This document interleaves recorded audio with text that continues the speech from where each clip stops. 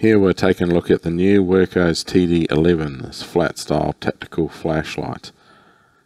It has two SFT 25R LEDs and smooth reflectors, proximity sensor to reduce the output on the higher level so you don't burn anything, tack bezel, clip on the rear, OLED display screen so it shows your real time of your lumen output, runtime and battery percentage. Uh, slider style uh, selector switch. Uh, smooth anodizing. USB-C charging and this diffused side light. Two rear switches and that's a two uh, dual stage switch there, so half press and full press and they these two switches are made of plastic. Yeah, so we'll just go over the UI. So flick it to the left. So this is momentary only.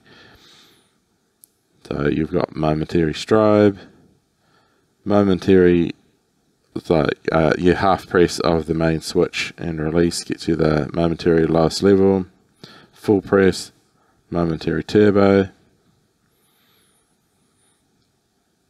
flick it into the middle gets you your lockout. So now there yeah it changes. There's nothing it does for this main switch and now you've got hold of this right switch. Gets you momentary of the last level. Flick the slider switch to the right. This gets you like a EDC mode where this right switch now controls the side light with RGB and the main uh, left switch controls the main light. And they both uh, operate very similar to each other.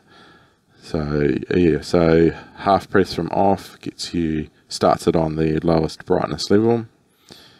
Uh, one press on off on like your memorized level. Hold so it's got smooth ramping on here. Hold it increases the uh, brightness and yeah, increase, decrease, and you can see it increasing on the display. And the, uh, the you see the runtime and everything change in real time, which is pretty cool. I have not seen that on other lights with uh, with a screen, so that's pretty cool. Uh, double press, turbo, one press uh, reverts back to the previous level. If you do double press, again from here it drops it all the way down to your low. Uh, triple press, oh, triple press gets your strobe, double press cycles through your like SOS and beacon. And your, yeah, this, so hold from off gets you your three lumens on the side light. Hold increases up to 350 lumens. and then uh, yeah, like double press turbo strobe, etc. So it's all the same as that switch, but double press of this gets you RGB. So hold of this cycles through the different colors, so release and press again, and it changes direction. Double press, and it goes through these special modes. So that's, that's like a warning light, and then you've got all these special modes.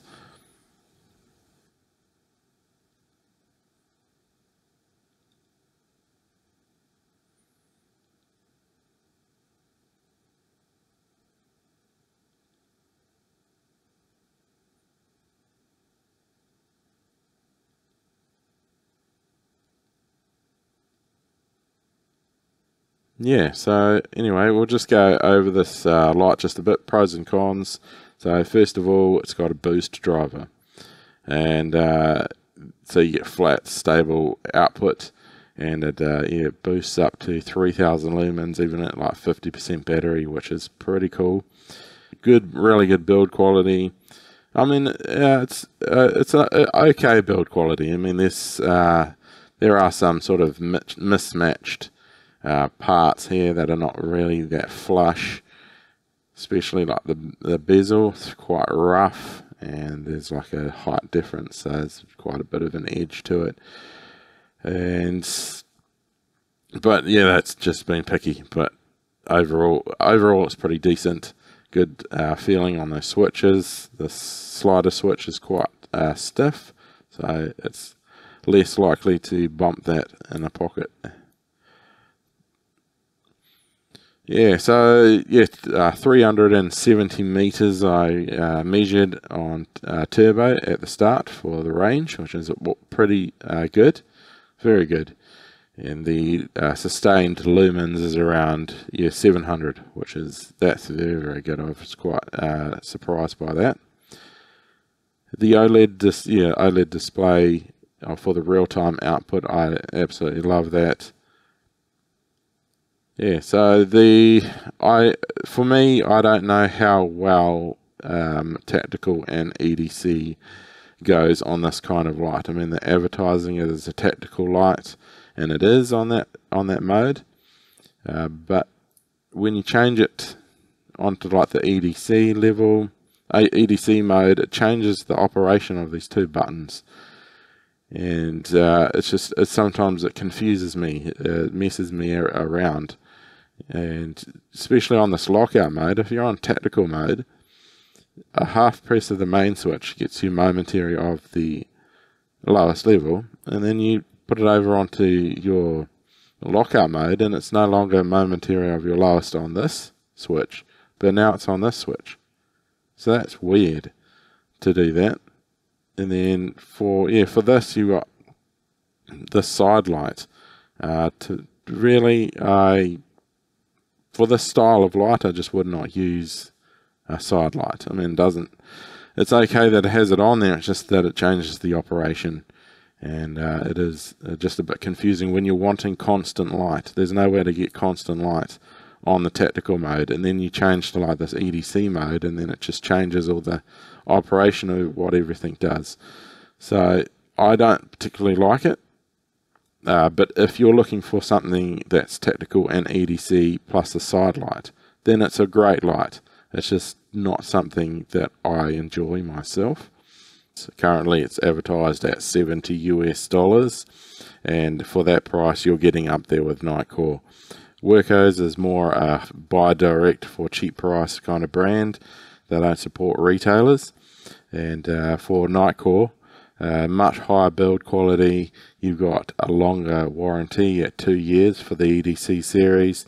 And if you have a look at like the EDC 23 from the Nitecore US website, it's got uh, $75 on there. Uh, that is that uh, model is not quite as long range. It's uh, 280 meters range and 2,500 lumens, but it's a much higher quality light, uh, two year warranty.